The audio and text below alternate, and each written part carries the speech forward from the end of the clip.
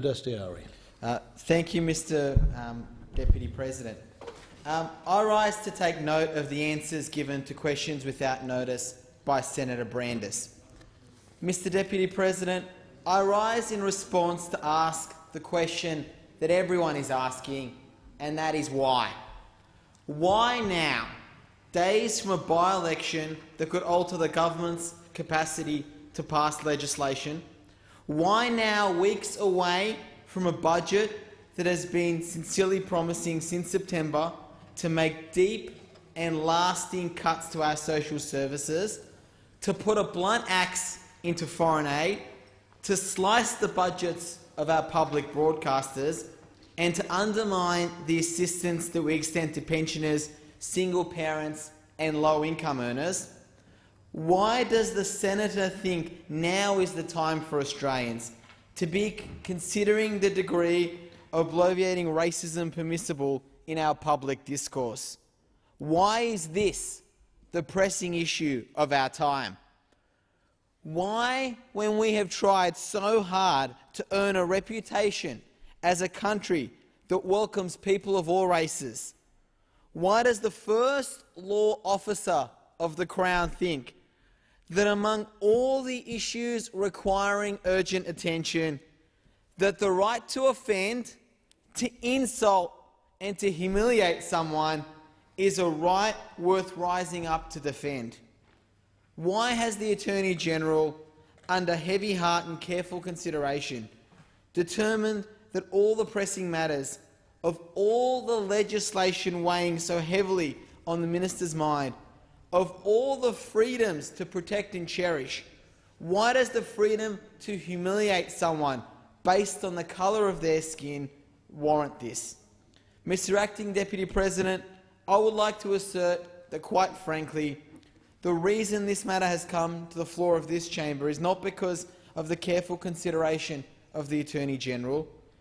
It is not because it meets the strategic objectives of the government's legislative agenda, and it is not because the Racial Discrimination Act in its current form is so outrageously unjust. Of course not. Mr Acting, Mr Deputy President, this is a matter of urgency is simply due the astonishing conceit, the breathtaking, breathtaking arrogance and the unbridled contempt that was so evident in Senator Brandis's response in this chamber on Monday. It is not just what the senator from Queensland said, but the way he said it, that has elevated this issue to a matter of pressing public concern. Senator Brandis's response to Senator Peris's question was delivered in a manner that made no effect, no effort to disguise his contempt and his disdain for either the question or the questioner. Ladies and gentlemen, we were all here to witness it, but for the Hansard record, I will repeat the minister's words. People have a right to be bigots, you know. And for the Hansard record, I want to be clear. To use the two other words Senator Brandis proposes omitting from the Act. His response was delivered in a manner that was both offensive and it was insulting. Whether it was a soundbite or a headline, Senator Brandis's response was reprehensible, cringeworthy and ultimately untenable.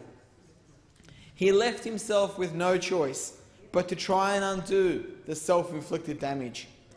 So I ask again, why is the right to humiliate someone because of their race a matter of such urgency?